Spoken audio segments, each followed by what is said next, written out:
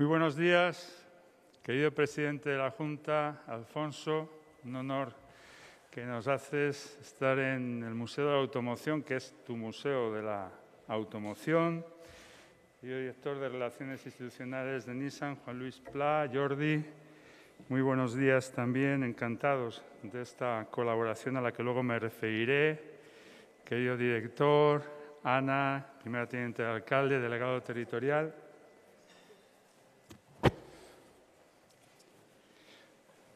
Me quito la mascarilla y aprovecho las ventajas de la actual situación epidemiológica. Queridos patronos, amigos aquí presentes y quienes nos acompañan a través de la retransmisión online de este año.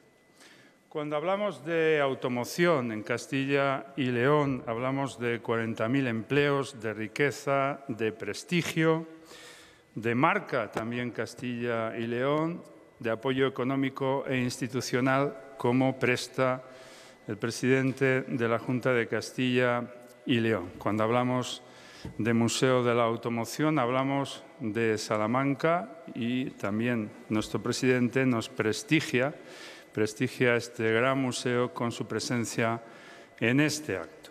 Entre las paredes de este edificio industrial del siglo XIX se conserva una parte muy representativa del patrimonio automovilístico español, al que se suma hoy este curioso Nissan Half-Leaf.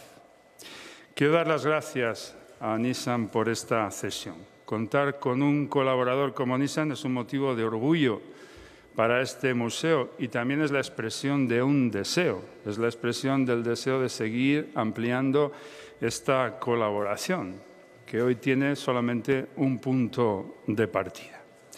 Otros propietarios generosos han depositado su confianza en este museo y están contribuyendo a enriquecer esta gran oferta expositiva y reforzando el papel de garante de la historia automovilística que tiene este museo. A todos ellos les podemos garantizar, siempre lo hacemos, por si acaso hubiera alguna duda, que no la hay, que no hay ningún lugar mejor que este museo para conservar esos tesoros que nos ceden. Y así lo pueden atestiguar las miles de personas, eran 72.000 en 2019 que pasan este museo y pueden dar fe precisamente de esa notoriedad. Y, por cierto, gracias al trabajo del director, de los empleados del museo, podemos decir que estamos en camino de ir recuperando esas cifras de récord del año 2019. Dentro de poco, sin duda, los escolares de esta ciudad que se han incorporando con sus visitas podrán acrecentar este número. Los salmantinos queremos mucho a este museo, que en la pandemia no solo demostró su capacidad de adaptación, es el único museo automovilístico del país que organizó exposiciones online. Además, aprovechó para renovarse de la mano de las nuevas tecnologías. Es un museo, por tanto, altamente innovador que favorece una experiencia inmersiva al visitante con independencia de las distintas capacidades de las personas. Es accesible para todos y está en constante reinvención. Por eso quiero felicitar una vez más a los patronos, a los empleados, a la dirección por este esfuerzo que nos coloca siempre en el liderazgo de los museos españoles de la automoción. Y en 2022 cumpliremos 20 años. Seguro que la dirección del museo, patronato, nos tiene guardada alguna sorpresa para que esta conmemoración tenga el brillo que se merece. En todo caso, yo como alcalde hago desde aquí un llamamiento a todos aquellos colaboradores o partners que nos quieran acompañar en esta celebración para que se apunten, para que entre todos hagamos un eh, aniversario que esté a la altura de los merecimientos y también de la industria automovilística española. La primera piedra de esa electrificación se sentó a través de Nissan y de este coche y a partir de ahí pues queda mucho camino por recorrer. Así que yo dejo ese camino en manos de Juan Luis para que nos explique cuáles son las siguientes eh, pautas y los siguientes puntos en todo este trayecto, que seguro va a ser un trayecto de éxito, como también es de éxito la industria automovilística de Castilla y León, precisamente gracias al empuje y al apoyo y al impulso que nuestro presidente la está dando. Muchas gracias.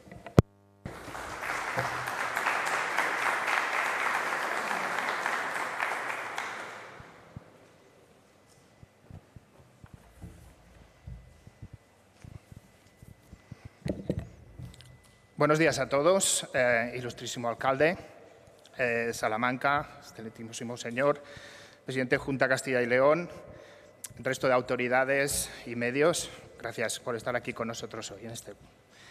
Mi nombre es Jordi Bell. Me lo he pasado muy bien haciendo de ingeniero, que es la, pasión con la que empecé mis estudios y con la que he podido, he tenido la suerte de hacer mi carrera. Actualmente no tanto, soy responsable en la actualidad de la administración y gerencia del Nissan Technical Center, eh, el centro de desarrollo que Nissan tiene en la zona franca de, de Barcelona. El centro tecnológico que represento forma parte de la estructura global que Nissan tiene para el diseño y desarrollo de sus nuevos modelos, desempeñando un papel clave no solo en Europa, sino también a nivel global. Nissan a pesar del trauma que supondrá el anunciado cierre de las plantas de producción de Zona Franca, eh, ha comunicado su intención de mantener sus operaciones de I+.D. en España. La confianza demostrada por la compañía japonesa en este área es algo que debemos poner en valor. Tenemos suerte de tener en España un centro de desarrollo de estas características que para Nissan supone una inversión que supera cada año los 80 millones de euros. Nuestro equipo está formado por más de 300 ingenieros, técnicos y especialistas. Una organización que combina años de experiencia en ingeniería con la juventud y el talento de las nuevas generaciones que se nos han unido a este proyecto. De todas partes de España, por supuesto, incluida esta región Castilla y León, y donde no podían faltar representantes, y de una ciudad como Salamanca, eh, con tanta y reputada tradición universitaria. Representada aquí hoy en este acto, ya que tenemos que agradecer a Ricardo Zapatero, que trabaja con nosotros y que vio la ocasión de este acuerdo y eh, ha hecho posible que lleguemos a este acuerdo. Gracias, Ricardo, por todo. Eh, un placer para mí estar presente en este acto para anunciar este acuerdo de colaboración entre el Museo de la Historia de la Automoción de Salamanca y Nissan. En este acto me toca explicar eh, brevemente el origen y el motivo que nos ha llevado a la firma de este acuerdo.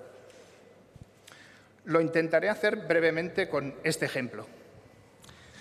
El 18 de febrero del 2010, fue un día histórico para nuestro centro técnico. Y yo iría más allá, yo diría que fue para la historia de la automoción y, un hito en, en movilidad y sostenibilidad. Ese día la dirección del centro técnico nos reunió a todo el personal de diseño y desarrollo en el área confidencial de prototipos, al principio la convocatoria no nos llamó mucho la atención, ya que este tipo de reuniones eran habituales para comunicarnos el lanzamiento de un nuevo modelo. Al mismo tiempo que los trabajos que íbamos a hacer con ese modelo de diseño, desarrollo, homologación, etc. Pero os podéis imaginar la sorpresa cuando en ese mismo acto eh, nos explicaron que Nissan iba a lanzar para su producción en serie el primer modelo 100% eléctrico producción en serie. Ante nosotros y debidamente camuflados, los dos primeros prototipos de coche 100% eléctrico que llegaron a Europa.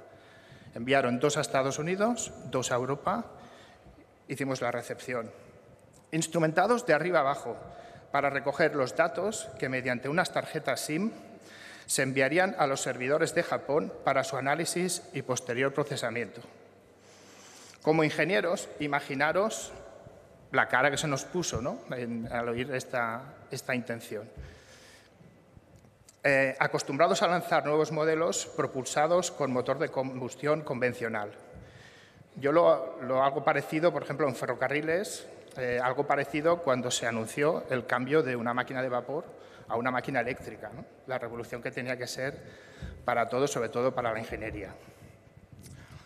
Enseguida nos dimos cuenta de que estábamos delante de algo grande, un hito en la historia de la automoción en el que se iban a fabricar vehículos de emisión cero.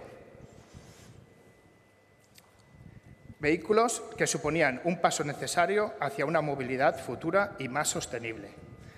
Pasamos de un motor de propulsión convencional por combustión de minerales fósiles, recursos limitados que no se pueden reponer y que a pesar de la evolución continua que han tenido en estos últimos años, tan solo consigue convertir poco más de un 20% de la energía que almacenamos en el depósito de gasolina en par mecánico efectivo que se transmite a las ruedas.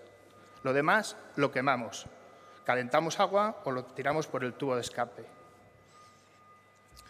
Por otro lado, y esa es la diferencia, un kilovatio de energía acumulado en un Leaf no necesita ni extracción, ni refinar, ni toda la logística necesaria para su distribución, ni tiene las pérdidas energéticas que tiene un motor de combustión, por ejemplo, en forma de calor cedido. Construimos este modelo, el Half-Life, utilizando la carrocería y parte de los componentes de esos primeros prototipos. Al principio, sinceramente, para ayudarnos a nosotros mismos a asimilar este tipo de arquitectura. Eh, pero enseguida vimos también la necesidad de dar soporte a la comunicación y al lanzamiento de este producto y de esta tecnología tan innovadora. La arquitectura de todos los vehículos EV incorpora un circuito de alta tensión y potencia que supera los 400 voltios. Tuvimos que participar y preparar en la homologación de los títulos profesionales que permiten manipular el interior de estos vehículos, los llamados títulos L1 y L2. Colaborando con APRAT, que es la Asociación Profesional de Rescates en Accidentes de Tráfico, tuvimos que actualizar los protocolos de actuación, alta tensión, baterías de litio. Este modelo se ha expuesto en los principales motor shows de Europa, en universidades, en institutos, centros de formación profesional, donde hemos recibido todo tipo de preguntas, algunas incluso hoy tan difíciles de corresponder como, entonces, ¿qué, tengo que estudiar? ¿Electricidad o mecánica? La verdad es que aún ahora no, no tengo claro las dos. Bueno, de esto han pasado ya 11 años. Entre otros muchos galardones, el 2011 el Nissan Leaf fue el vehículo galardonado con el premio al coche del año de Europa y del mundo por el prestigioso el, jurado y el llamado COTI. Hoy en día se han vendido más de 500.000 unidades en todo el mundo y nadie ahora con esta perspectiva, puede negar que el Nissan Leaf fue el pionero, que marcó el camino que ahora están siguiendo todos los fabricantes a nivel mundial. Un mundo que poco a poco está haciendo una transición hacia una movilidad sostenible, inteligente y de emisiones cero. El diseño y desarrollo de nuevos modelos es constante, a veces, a mi criterio, demasiado rápido, eh, más de lo que nos gustaría, pero en nuestra posición como centro técnico dentro de la compañía, tenemos la oportunidad de acceder a estos modelos únicos y pioneros. No deberíamos dejar que estos vehículos como este, que forman parte de nuestra historia, eh, caigan en el olvido y acaben finalmente destruidos. El acuerdo que hoy es una ocasión única para ambas partes. Eh, que nos permite exponer estos modelos en un lugar tan privilegiado como es el Museo Histórico de Automoción de Salamanca, dirigido por Luis Miguel Mata. Gracias, Luis Miguel. Creo que con este ejemplo eh, queda un poco ilustrado el, el, acto de hoy y simplemente daros muchas gracias a todos y cedo la palabra a Juan Luis Pla, que hablará más Yo he hablado del pasado, un poco del presente, él habla más del presente y del futuro. Juan Luis, cuando quieras. Gracias a todos.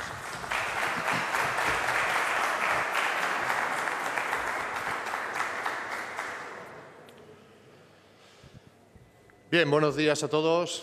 Querido Alfonso, querido presidente, muchísimas gracias por acompañarnos. Querido alcalde, un verdadero placer. Y el resto de autoridades. Camilo, muchísimas gracias por estar con nosotros hoy.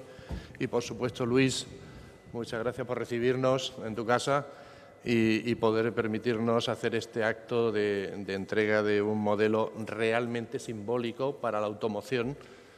Eh, hablábamos anteriormente de si ya es historia, para mí ya es historia de la automoción este vehículo, porque es el primero, es el pionero de los vehículos eléctricos y, y, cuando ves ahora que todo el mundo hace vehículos eléctricos, pues te acuerdas realmente de lo que fueron los orígenes. ¿no? Para mí es un verdadero placer. Ya vi este modelo hace unos años en algún motor show que, tuvimos ocasión de verlo y realmente es muy llamativo. Me gustaría empezar a, hablar por, Nissan en Castilla León. Estamos en Castilla León, estamos en Salamanca y Nissan para nosotros Castilla León es muy importante. Como sabéis todos, Nissan tiene una fábrica en Ávila donde hasta hace poco hacíamos camiones y no me gustaría olvidarme de la maqueta de la León que veis aquí, que también es histórica dentro de la casa Nissan. Y estos camiones los hacíamos eh, y ahora estamos en un proceso de transformación de la planta de Ávila muy importante que va a permitir en unos años volver a recuperar toda la actividad que teníamos y que hemos tenido tradicionalmente allí. Pero desde el punto de vista de la movilidad eléctrica, Castilla y León para nosotros también es crítico ¿Por qué? Porque si queremos, yo vivo en Madrid, pero si queremos ir a cualquier lado, prácticamente todos estamos obligados a cruzar Castilla y por tanto, de alguna manera, es importantísimo también tener en Castilla y León una correcta red de puntos de recarga para cargar vehículos eléctricos, pero, pero bueno, sabemos que está costando, que eh, no es tan fácil poner cargadores de vehículos eh, eléctricos, sobre todo de carga rápida en carretera donde Nissan, por ejemplo, ya tiene un acuerdo de colaboración con EasyCharge y estamos haciendo cargadores. Realmente donde, casi la comunidad autónoma donde menos nos está costando es Castilla y León, precisamente el conseguir las autorizaciones para poner, pero, pero todavía es muy escaso, hace falta mucho más. También me gustaría destacar que, lo ha dicho ya de alguna manera Jordi, Nissan está en este momento inmerso en una enorme transformación como compañía y desde el punto de vista tecnológico. Es verdad que fuimos los primeros. Eh, yo no estaba en Nissan entonces cuando nació, cuando salió el Nissan Leaf. Yo no estaba entonces en, la compañía, pero sí que estaba relacionado con el tema de la movilidad eléctrica y, y fue el primer vehículo eléctrico de verdad que nos encontramos y pensado para el mercado masivo. Ya no era un capricho, ya no era un vehículo transformado de un vehículo previo, que era lo que había entonces, en el año 2009, era lo que había. Vehículos térmicos que le habían puesto una batería, un motor eléctrico y los habían transformado en eléctrico. Pero eso no era un coche diseñado como este, diseñado desde el principio como vehículo eléctrico. Y eso eh, se le debe a Nissan en ese año la apuesta tan importante que hizo por lanzar la primera, los primeros vehículos de movilidad eléctrica. Lo cierto es que la electrificación, lo comento siempre que puedo, la electrificación, mm, dicen, ¿es el futuro? No, la electrificación es el presente. El vehículo eléctrico ya está aquí. El vehículo eléctrico ya lo tenemos en, en, todas las ciudades, ya lo tenemos también para movernos fuera de las ciudades. Por tanto, mm, considero un grave error hablar del futuro de la movilidad vehículo eléctrico. No, no. el presente de la movilidad es eléctrico. Lo que pasa es que viene mucho más, no se queda ahí la cosa. Es decir, también vamos a tener vehículos conectados, hiperconectados yo llamaría, conectados lo tenemos casi todos ya, pero hiperconectados donde vamos a tener una gran cantidad de aplicaciones que nos van a permitir ser más eficientes, sin duda esto va a llegar con el tiempo. ¿no? Y también no nos olvidemos de la conducción autónoma, otro de los pilares en los que Nissan cree de cara al futuro la conducción autónoma, ya los vehículos van teniendo funciones de conducción autónoma cada vez mayores. A mí me encanta como compañía japonesa, como son nuestros queridos colegas japoneses, lo prudente que son a la hora de sacar algo al mercado. Hasta que no está archi probado no sacamos nada, no como otras marcas ¿no? que se le han pegado. Pero en ese sentido deciros que tanto movilidad eléctrica, vehículo conectado y vehículo autónomo son los tres pilares de la movilidad del futuro que considera Nissan en su estrategia Nissan Intelligence Mobility. Lo que pasa es que la cosa no se queda ahí. Nissan, el vehículo eléctrico, nunca lo ha considerado exclusivamente un coche. Yo, cuando tengo oportunidad de hablar en foros, lo digo. Para Nissan, el vehículo eléctrico es mucho más que un coche. ¿Por qué? En definitiva, lo vais a ver cuando destapemos el vehículo, un vehículo eléctrico es una batería con ruedas. Básicamente es una batería con ruedas, es un sistema de acumulación de energía eléctrica móvil. ¿Por qué no podemos aprovechar esa característica tan maravillosa que supone poder acumular energía eléctrica en una batería? En ese sentido, Nissan ya ha desarrollado tecnologías que van más allá de este concepto de solo movilidad. Por ejemplo, la tecnología de Vehicle to Grid, es decir, bidireccionalidad. Podemos cargar un coche eléctrico, pero también lo podemos descargar. ¿Por qué no podemos utilizar la energía eléctrica del vehículo para alimentar una vivienda, para alimentar una oficina, para alimentar incluso una red en un momento determinado, por ejemplo, en una crisis que pudieras tener por un problema de seguridad, que se te va el sistema eléctrico, ¿no? Eso ya lo ha avanzado Nissan y hay un segundo pilar que no me gustaría olvidarme y es economía circular. Nissan lleva ya seis años desde que firmó un acuerdo de colaboración con una empresa inglesa que se llama Eaton, donde estamos empezando a recuperar precisamente las baterías de los primeros vehículos eléctricos que se pusieron en el mercado. Recordar la cifra de 500.000 vehículos vendidos por eh, Nissan del modelo Leaf. Cuando esos vehículos dejen de andar, dejen de funcionar, porque ya por antigüedad dejarán de ser funcional, ¿Por qué no podemos utilizar esas baterías para acumular energías de forma estacionaria con paneles fotovoltaicos o, mini generadores eólicos en una vivienda? Este concepto de economía circular es crítico. Todavía hay muy pocos coches eléctricos en el mercado, todos lo sabemos. Pero ¿qué va a pasar cuando tengamos 5 millones de coches eléctricos en el 2030, como se pretende en un país como España? ¿Qué vamos a hacer con esas baterías? ¿Cómo las vamos a recuperar? Para los fabricantes este es un tema importantísimo porque somos los responsables de la recuperación de esas baterías y, por tanto, poderle dar una segunda vida es fundamental. Bueno, no quiero seguir avanzando más, ya he hablado de, electromovilidad, pero desde luego me gustaría dejar muy claro que para Nissan la movilidad eléctrica no solamente ha sido el pilar fundamental de su desarrollo en los últimos años, cuando hablamos de movilidad eléctrica, nos gusta hablar de movilidad eléctrica en el amplio sentido. No tiene por qué ser 100% eléctrico un vehículo. ¿Por qué no en ciertas aplicaciones utilizar una parte de la producción, por ejemplo, a través de un vehículo híbrido o un vehículo híbrido enchufable? Es decir, no hay que correr tanto, hay que hacerlo de una manera... En Nissan la palabra que yo creo que más he usado en mi vida es smart, es inteligente. Hay que utilizar la tecnología de manera inteligente. Hagámoslo de manera inteligente. Insisto, muchísimas gracias al museo por las facilidades que nos ha puesto a la hora de poder lanzar esta idea, esta colaboración del pasado de la, para mí el pasado de la automoción eléctrica, porque esto es el pasado de la automoción eléctrica, viendo lo que tenemos ya hoy. Y muchísimas gracias, por supuesto, al presidente y al alcalde por acompañarnos en este acto. Muchas gracias.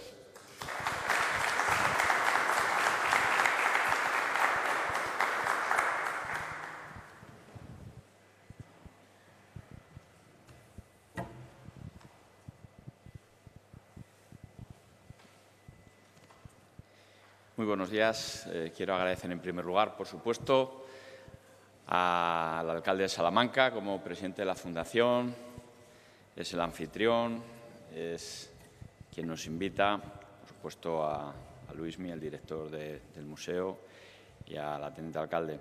Quiero agradecer también la presencia de Juan Luis y de Jordi y de su generosidad y todos los miembros que participan, como siempre, con este museo y con esta fundación. Gracias por invitarme a participar en la presentación de un acto tan importante como es el acuerdo entre Nissan y el Museo de Automoción de Salamanca, que es eh, uno de los eh, museos referencia cuando hablamos de la automoción en nuestro país. Quiero felicitaros, creo, Carlos, también al patronato de la Fundación y al Museo de Historia de Automoción, Luismi, eh, por el esmero que estáis desarrollando constantemente en enriquecer el patrimonio de, este museo. Eh, yo creo que se hizo hace muchos años una apuesta, 20, más de 20 años, una apuesta por este museo, se está enriqueciendo con aportaciones públicas, con aportaciones privadas, con la generosidad de donantes como hoy la de Nissan y, por tanto, Juan Luis, Jordi, muchísimas gracias por vuestra generosidad, porque además sois una pieza clave para que seamos líderes en España en, capacidad de producción de automoción. Sois, eh, desde luego, una pieza básica y fundamental. Estamos colaborando de manera intensa, lo comentaba eh, tanto el alcalde como vosotros en vuestras intervenciones.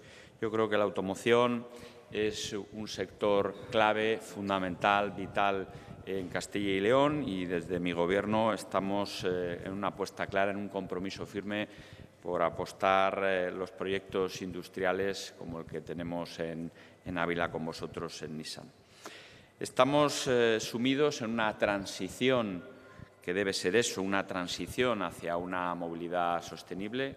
Estamos ya en esa movilidad sostenible, lo ha explicado muy bien Juan Luis y, bueno, que tengo que hacer algunas referencias, pero no quiero ni mucho menos suplantarle, porque él lo ha explicado bastante mejor que lo voy a hacer yo.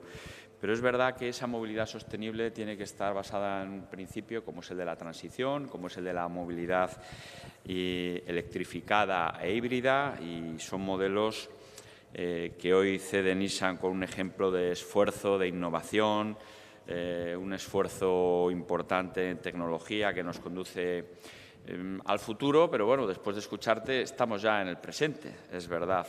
La evolución hacia esa movilidad sostenible eh, precisa de medidas eh, y apoyo de las administraciones y ahí estamos colaborando desde la Junta de Castilla y León, apoyándonos precisamente en la tecnología de vanguardia. Y también estamos, eh, por otro lado, apoyando el esfuerzo del Ayuntamiento de Salamanca en apostar por recursos turísticos, utilizando una terminología eh, enológica, hay un buen maridaje entre el patrimonio y el turismo, algo por la que ha hecho gala y esencia el Ayuntamiento de Salamanca eh, en las últimas décadas y muy especialmente bajo el mandato de Carlos. Eh, creo que es muy importante poner en valor el patrimonio porque no solo protegemos el legado que hemos recogido a lo largo de nuestra historia, milenaria cuando hablamos de la ciudad de Salamanca, eh, pero esa protección de nuestro legado, de nuestra historia, de nuestro patrimonio. Estamos en pleno cogollo del patrimonio mundial de la ciudad de Salamanca, pero ese patrimonio eh, en esta ciudad hemos sido capaces de convertirlo en riqueza turística y, por tanto, en riqueza económica y creación de empleo. Yo creo que la apuesta, por tanto, del Ayuntamiento de Salamanca es eh, muy importante. La vinculación de los valores eh, monumentales con otras apuestas, como la gastronómica también, o la riqueza agroalimentaria o, la riqueza de la enseñanza del español, me parece que son valores especialmente relevantes que tiene la ciudad de Salamanca por la que expuesta eh, el alcalde Carlos García Carballo y yo quiero felicitarlo porque estar en este museo vemos cómo es posible de convertir la cultura, la defensa del patrimonio, la apuesta también por la vanguardia y la modernidad, vamos a poder verlo en este vehículo, es una apuesta por la riqueza de, la ciudad, algo en lo que coincidimos todos. Y este museo, como digo, mm, eh, engloba todas esas características. Por tanto, eh, cuando un museo, de la mano de la aportación de Nissan, es capaz de aportar o de aunar la historia por un lado y la modernidad por otro, es algo de lo que nos tenemos que sentir eh, especialmente satisfechos y contentos. Con la implicación de todos, de todos los que estamos aquí, porque veo caras amigas y caras conocidas y gente que apuesta por el sector de la, de la automoción, por la ciudad de Salamanca, por este museo, quiero agradeceroslo, pero con la implicación de todos seguiremos sumando activos para que Salamanca, para que Castilla y León sea un referente en el turismo de interior. Yo finalizo con un agradecimiento especial a Nissan, de corazón, de verdad, no solo por vuestra apuesta industrial a esta tierra, sino por vuestra apuesta también eh, vinculando eh, bueno, pues lo que habéis generado, el valor añadido que tenéis vinculado a, este museo, os lo agradecemos de corazón y felicito, por supuesto, al Ayuntamiento de Salamanca y al museo por, esta apuesta continua que se hace de ir eh, enriqueciendo ese patrimonio que se, que se alcanzó. Yo creo que decir que el vehículo eléctrico es el futuro, después de haber escuchado las palabras de Juan Luis, eh, es obvio que no, pega, ¿no? porque el futuro es el vehículo eléctrico conectado y autónomo. Eso sí que es el, futuro. Y lo tenemos que hacer con inteligencia, también lo has dicho tú. Y tenemos que apostar por esa transición eh, hacia ese tipo de vehículos. La transición es fundamental, actuar con inteligencia y actuar con prudencia es clave en nuestro país y en nuestra tierra. Y yo creo que, eh, bueno, pues esa movilidad sostenible por la que tenemos que apostar todos, hoy aquí lo podemos comprobar, es un ejemplo que se materializa, que lo podemos eh, comprobar. Muchas gracias a Nissan, muchas gracias al Ayuntamiento, muchas gracias al Museo, muchas gracias por invitarme y por participar en este acto. Gracias a todos.